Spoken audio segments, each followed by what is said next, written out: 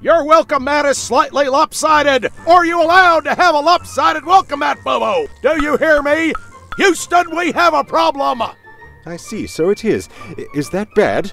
You worthless troglodyte! It is bad, all right. Punishment is one month latrine duty. But I will overlook this if you are willing to lend me a cup of sugar. I am baking snickerdoodles.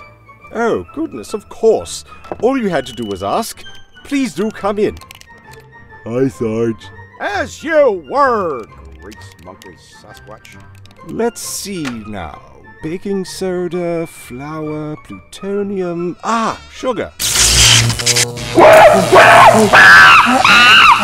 Your helmet has a major malfunction, soldier! Drop that give me 20!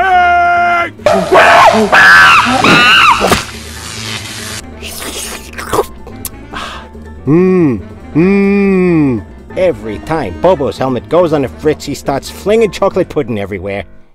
It's chocolate pudding with corn and nuts. Best when you serve it hot. What'd you think it was? This is a kid's show.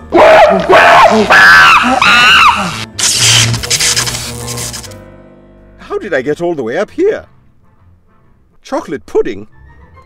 Oh, dear. My helmet must have gone wrong again. Um, what was it you wanted? A cup of sugar.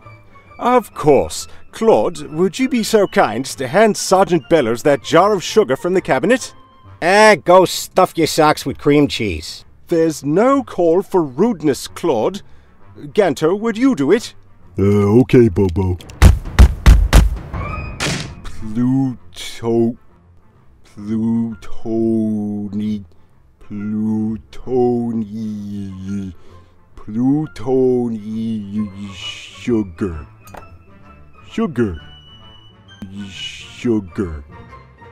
I am going to need that job back. Sure.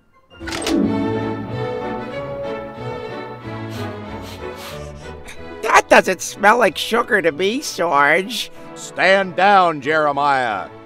These snickerdoodles are going to be delicious. Just like Grandma used to make. Claude, would you hand me that jar of plutonium in the cabinet?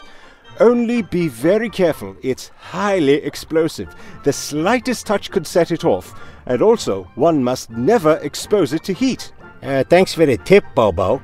But there's nothing here except a jar of sugar. Sugar? Then what did I give to Sergeant Bellows? Oh, no.